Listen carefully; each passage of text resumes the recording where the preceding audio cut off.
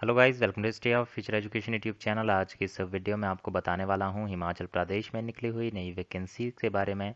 इनकी पूरी जानकारी के लिए इस वीडियो में अंत तक बने रहिए। चैनल पर नए तो चैनल को आज ही सब्सक्राइब कर लें और बेल आइकन भी प्रेस कर दें। बात करें इस वैकेंसी की। ये वैकेंसी निकली है international Roerich memorial trust IRMT जो कि स्थित है डिस्ट्रिक्ट कुल्लू हिमाचल प्रदेश में।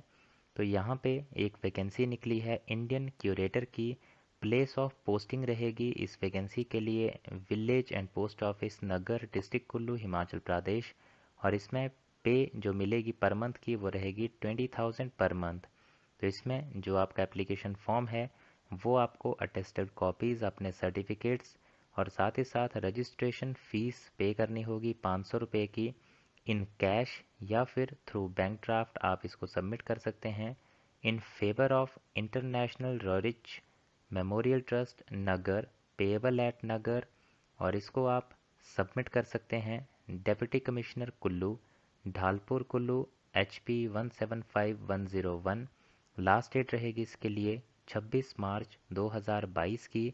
बाकी डिटेल्स जो अगर आप खुद से देखना चाहते हैं तो आप H P Kullu dot N I C dot in पर देख सकते हैं, या फिर लकार्टिस dot H P dot G O V dot in या फिर I R M T Kullu dot com के ऊपर भी देख सकते हैं। बात करें इसके लिए एलिजिबिलिटी क्राइटेरिया की तो उसमें जो है, बात करेंगे इसमें नेम ऑफ़ पोस्ट है इंडियन क्यूरेटर एक पोस्ट है, और इसमें जो है आपकी एज डायरेक्ट रिक्रूटमेंट के लिए ली जाएगी पच्चीस साल से लेके पैंसठ साल के बीच में।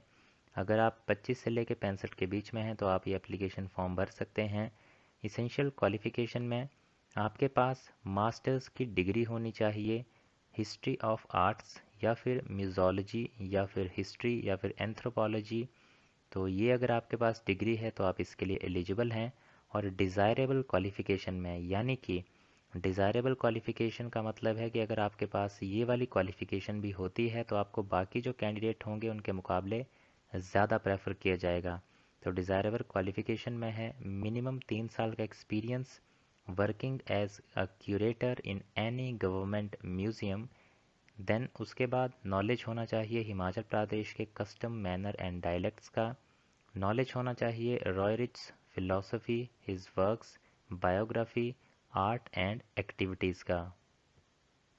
इसमें एक अलग से क्राइटेरिया भी बताया गया है कि जो एसेंशियल रिक्वायरमेंट रहेगी कि कैंडिडेट जो है सिटीज़न ऑफ़ इंडिया होना चाहिए, यानी कि ये ज़रूरी नहीं है कि आप हिमाचल प्रदेश के ही होने चाहिए।